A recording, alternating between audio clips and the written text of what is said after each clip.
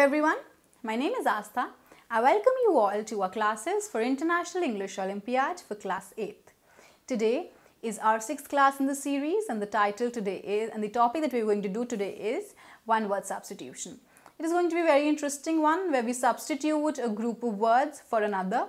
Uh, it sort of works as a you know word meaning sort of thing. So it is going to add on to your vocabulary a lot. So make sure you write down any new words that you any new word meanings that you find. Alright, so let's just get started. Alright, so what one word substitution signifies is, what do we mean by it? We are going to have words that replace a group of words or a full sentence effectively without creating any kind of ambiguity in the meaning of sentences. Which means one word substitution is what? We will either have a, a group of words or a sentence which will be replaced by another word in such a way that there will not be any kind of ambiguity in the meaning of sentences. Ambiguity means will, means there will not be any kind of uh, any kind of confusion in the meaning of sentences. That means both of these with whether it is the group of words the full sentence or this word they will have both of them will have the same meaning. This will be some sort of a substitution okay? Substitution is what? Where you replace one thing with another and there is uh, no confusion created no ambiguity created and both of them they mean the same thing so that is what is going to happen in one word substitution. All right. So that's what one word substitution is. Now let's move on.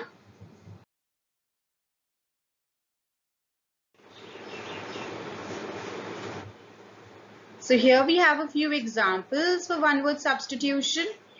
Like um, what did we read about them? Uh, we know that there are group of words or sentence which is then replaced by one word and there is no kind of ambiguity created which means the meaning is the same.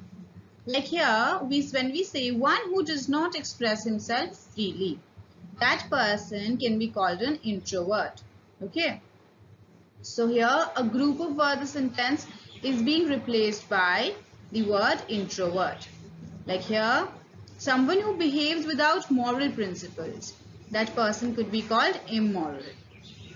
Then a person who is incapable of being tampered with. And person, you know, we shouldn't be tampering with. That's in, impregnable. Then one who is unable to pay his debts. A person, you know, um, who has lost all his money and he's taken so much debt that person and now is unable to pay it that person could be called an insolvent a person who is mentally ill could be called a lunatic and a person who dislikes humankind and avoids human society a person who in general who just dislikes humankind that's that person could be called a misanthrope. All right so that's uh, how we're going to do one word substitution. You have a you have a sentence or a group of words which can be replaced by another word which can be rather substituted by another word which means it does not create any ambiguity or confusion in its meaning all right this is one set of examples let's move on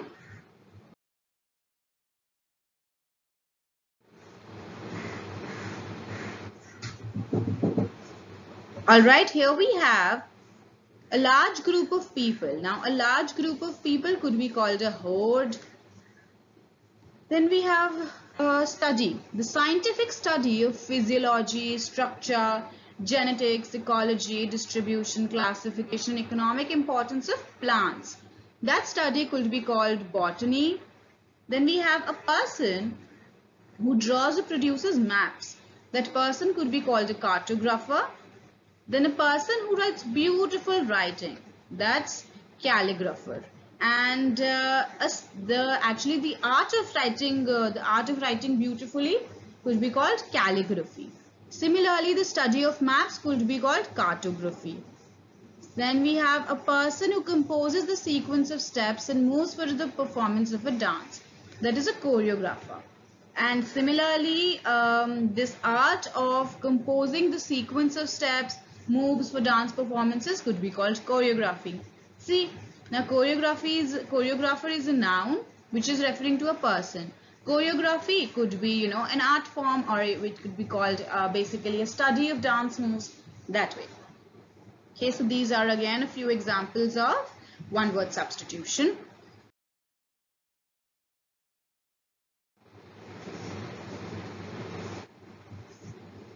Okay, here we have like a place where bees are kept, a collection of beehives, apiary, then a building containing tanks of live fish of different species, aquarium. A place, a scene of activity, debate, or conflict could be called an arena. Alright, this is again, you know, see apiary, aquarium, these are, these all are nouns that we are substituting these group of words or sentences with. Alright. So that's the job of one word substitution. We replace a group of words or sentence with another word and there is no ambiguity or confusion created. Which means this group of words and this word, all of them, both of them have the same meaning. Alright.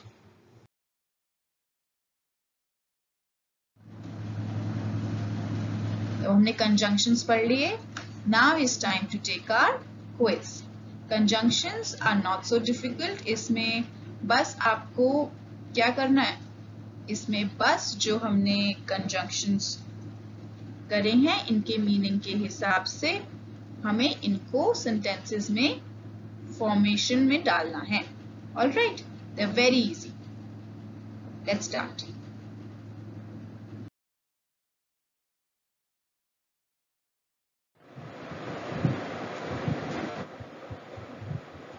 Alright, so for the quiz, what we will be doing is, now every question you will be given one minute. One minute means 60 seconds. Why am I giving you one minute? Because you see, your question paper of IEO, it has about uh, 50 questions and so you can uh, imagine that, you know, you get more or less a minute to answer the questions. Now this one minute is the maximum that you should be taking for answering the question. Now suppose there could be two, three, two, three categories of students. First category is suppose you answer the question within that one minute. So I would request you to fast forward the video and uh, skip right to the answer. You should not be wasting your time. Alright. Now the other students who are not able to answer the question in one minute, what you do, you don't skip to the answer. You pause the video and you write down your answer.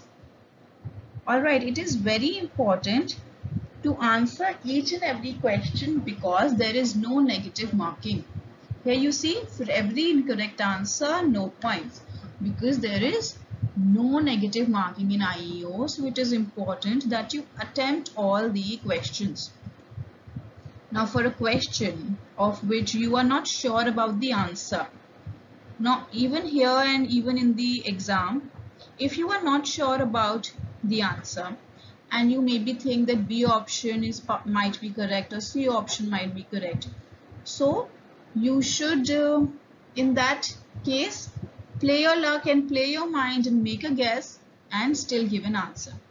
Because it is a win-win situation.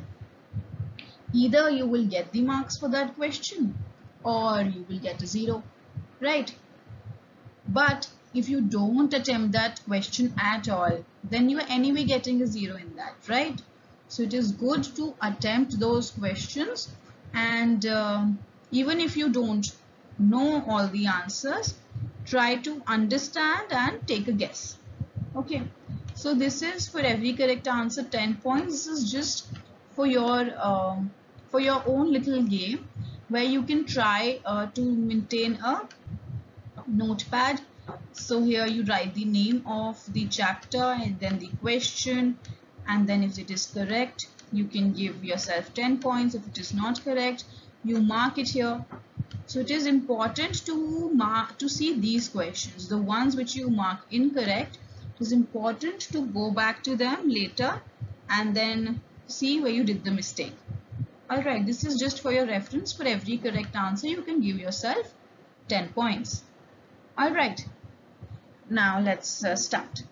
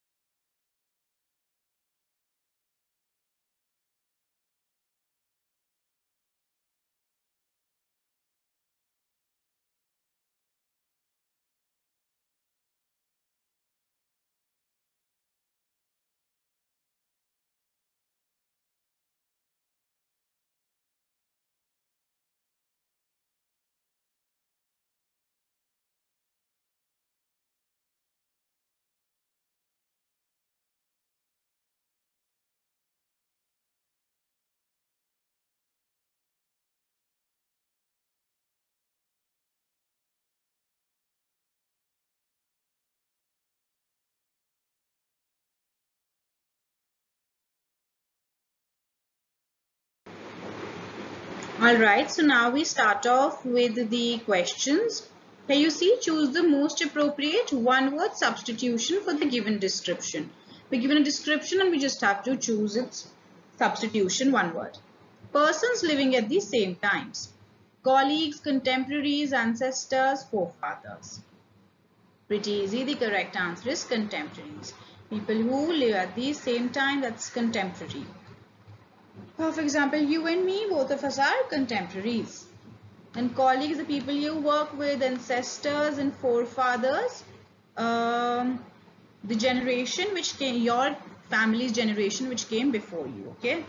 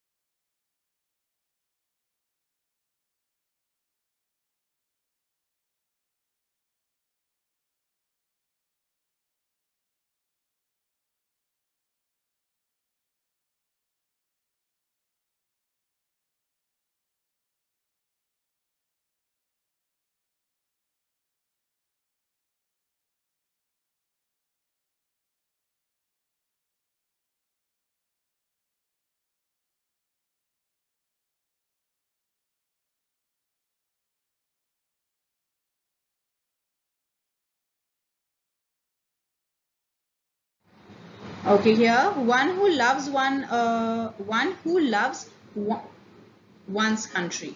Revolutionary, traitor, patriot or ambassador. So here the correct answer is C, patriot. One who loves one own country is patriot. Then here we have ambassador. Ambassador is sort of a representative who is uh, sent to from one country to another to represent their country like if uh, an Indian ambassador goes to USA, so he's like a representative of India. That's ambassador. Traitor, someone who's disloyal and betrays. Okay. Then we have revolutioner, someone who is engaged in a revolution, bringing about a certain fundamental change, okay, structural change.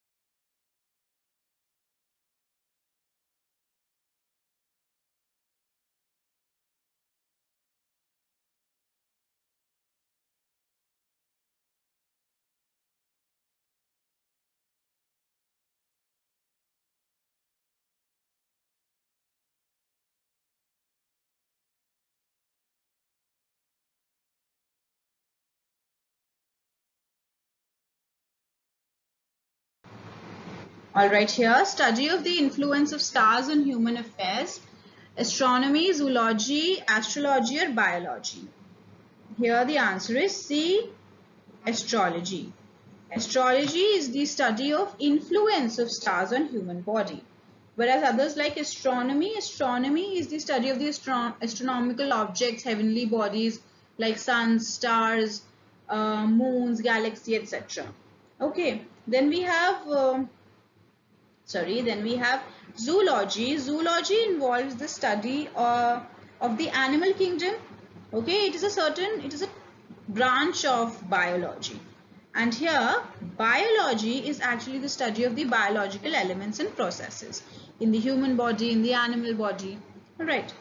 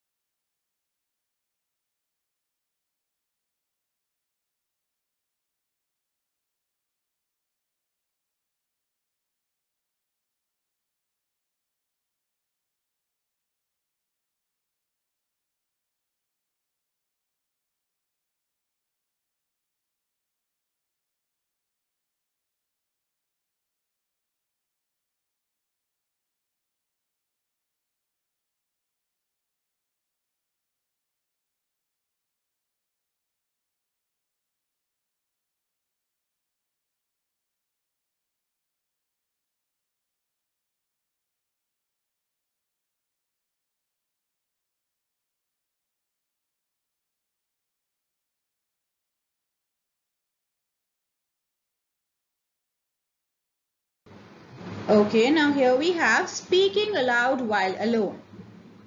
Prologue. B. Soliloquy. C. Dialogue or D. Epilogue. Here the correct answer is B. Soliloquy. Now this is usually done by, uh, we can say dramatic characters, the ones who practice, right, who practice without an audience to improve their art. That can be called a soliloquy. Here we have prologue. Prologue is an introductory section of a certain dramatic literary work. Epilogue is the end section. Dialogue is the conversation between two people or more than two people. Okay.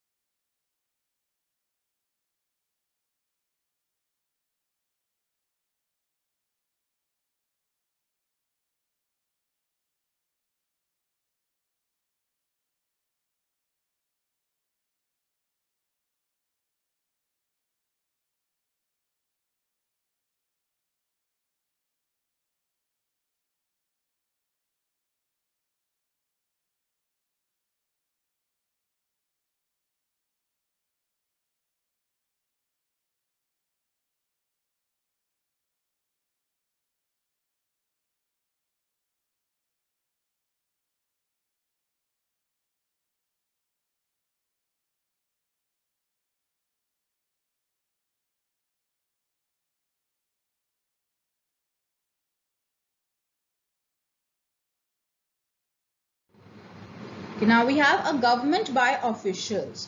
A government by officials, it is known as bureaucracy. Then we have democracy. Democracy is a government of the people, for the people and by the people. Then we have autocracy. Autocracy means a government of one person, one person who has absolute power. Okay.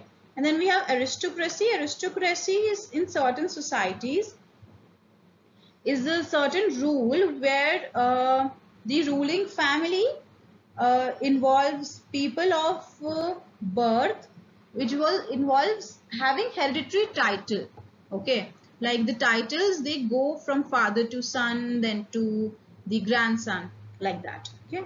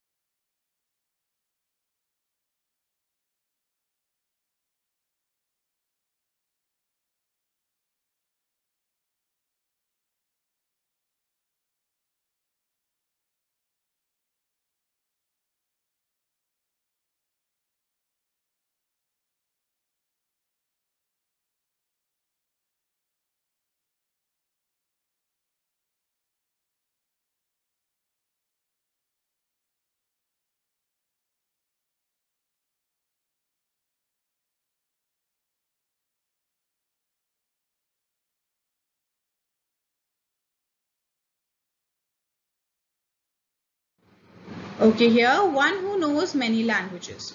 Bilingual, polyglot, philosopher or narrator. So here a person who knows many languages is usually referred to as polyglot. Okay. Whereas bilingual is a person or you know someone who's uh, able to you able to use two languages equally well. Philosopher, one who expresses his philosophy, narrator, someone who's narrating, narrates certain character or anything. Okay, narrator, certain script.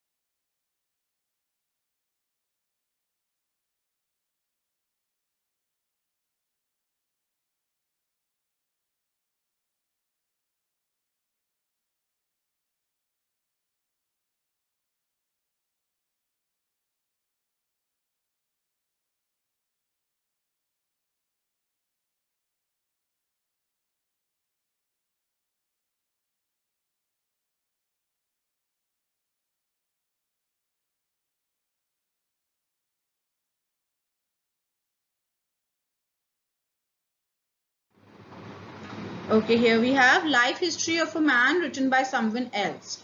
Autobiography, biography, calligraphy or autography. Pretty easy, the correct answer is biography. Life history of a man written by someone else. For example, if I write my own history, my life story, and it is, but it is written by someone else and it's a biography. But if I write it on my own, then that is an autobiography. Calligraphy is basically the art of um, beautiful handwriting you know those different uh, fonts and uh, different uh, access basically accessorizing those fonts okay? Then we have autography is like the writing done with own hand autograph de do matlab apna you know you write with your own hand give me a message like that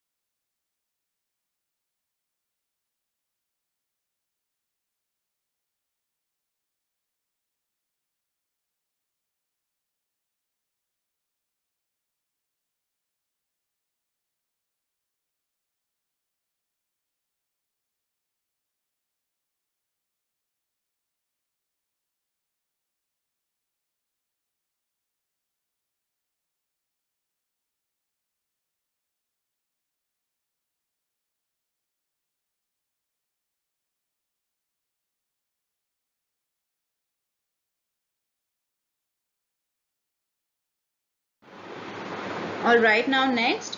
This one says a speech delivered without any preparation. Now, speech delivered without any preparation, debate, declamation, extempore, symposium. Some speech delivered without any preparation is called an extempore. Now, the other words you see, debate. Debate is a sort of uh, that speech, that uh, uh, speech where you choose sides. Either you speak for or you speak against. All right. Then we have declamation. declamation is basically against speech, um, speech to an audience uh, in a formal way. And then we have symposium. Symposium is also a sort of a speech, we can say, but to where it is, uh, there are more people involved. Okay, it's sort of a discussion where everybody gets a chance to speak their part.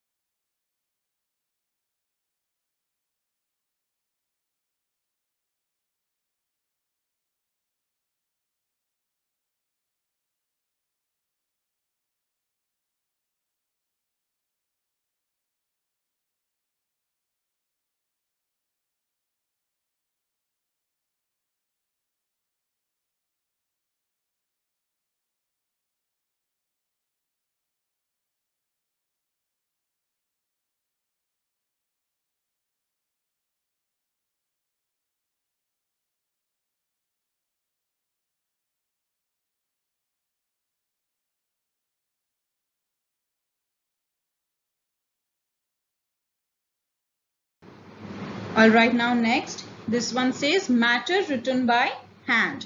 Manuscript, sculpture, inscription or monument. Here the matter written by hand is called manuscript. Sculpture actually refers to the statue kind of things. Okay, inscription refers to basically um, sort of inscriptions and then monument. Uh, we know what monuments are. Like we have India Gate, like we have Red Fort. These are historical monuments, buildings and uh, mm, pieces of architecture basically.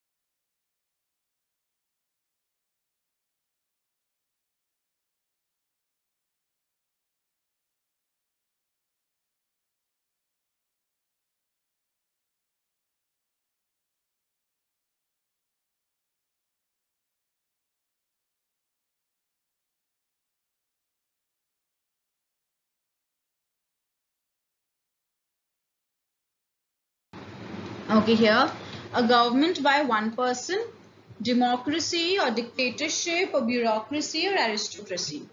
A government by only one person is referred to as dictatorship. Alright, all the others we have discussed. Democracy for the people, by the people, of the people, bureaucracy, government of officials and aristocracy where you have hereditary titles.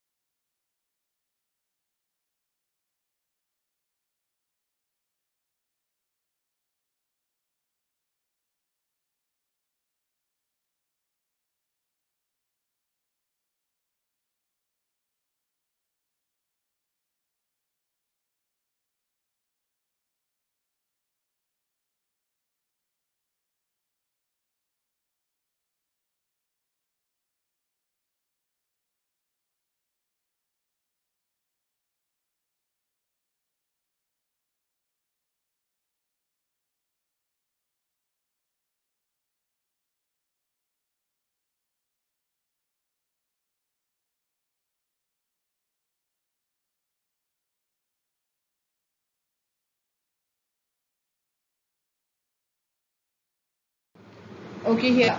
An athletic event in which each competitor takes part in 10 events.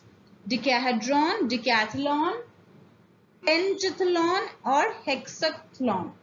Now, for those who know maths, this will be pretty easy to answer. Like you have those uh, those polygons, right? A polygon with four sides is called quadrilateral with five sides is called a pentagon with six sides is called a hexagon. Seven sides septagon most probably so like that. An athletic event in which each competitor takes part in 10 events is called decathlon. All right. Dec is used for 10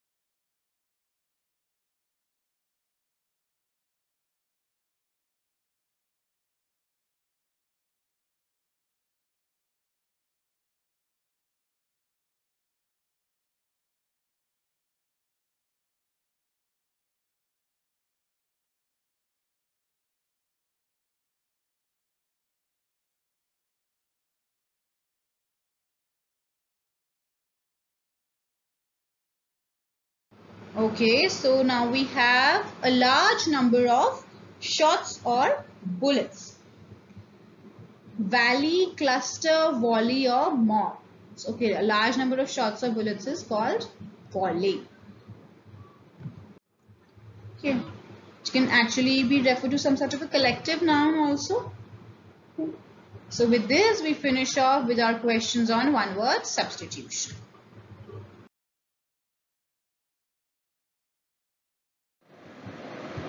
That's all for a class on one word substitution.